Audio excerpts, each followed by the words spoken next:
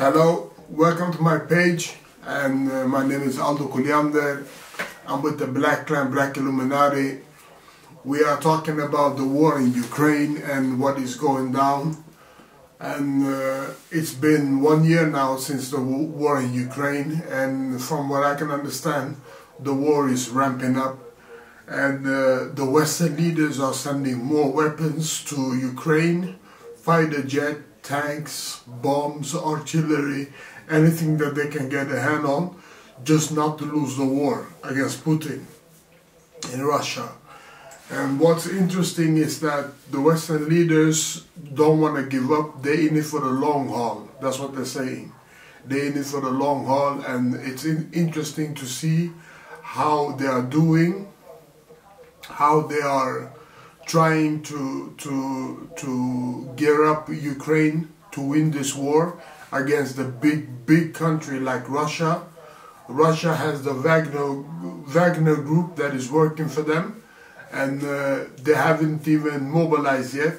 Russia, so Ukraine is in for a big, big, big problem, from what I can see, and. Uh, I don't know if, if it's good to send weapons to Ukraine or if it's bad. If it's good for Europe or if it's bad for Europe. I think war is something that brings money to the families that is dealing with, with weapons, that is selling weapons and manufacturing weapons. And it's important to know that uh, the more weapons that are sent to Ukraine, the bigger the war. My question is, is this the start of World War III? I think it is the start of World War III. World War III will not be like World War II was, where they were dropping bombs everywhere and chemical weapons and burning people and blowing up people and stuff. This will be another kind of war.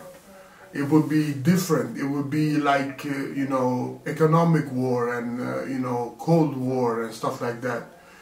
So it will be a different kind of war for for for the people that will be involved in it.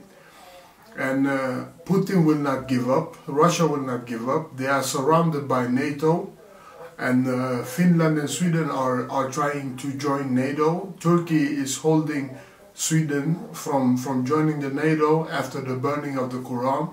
So it's important to know that uh, there is a lot of heat going on now in Europe once again, 100 years after World War, World War II.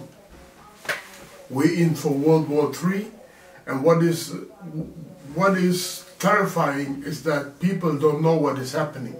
People are seeing that they are sending weapons, but they don't know what is happening.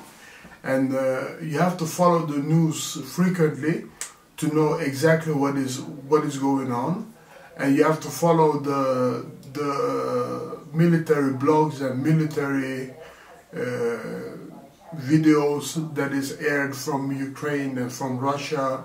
And you have to follow different kind of news to see to get a hold of what is really going on. And this is what I'm what I'm trying to do. So I think that we are in World War III I think that we are it. It, it hasn't broken out yet but this is what is next. So stay updated and let me know what you think.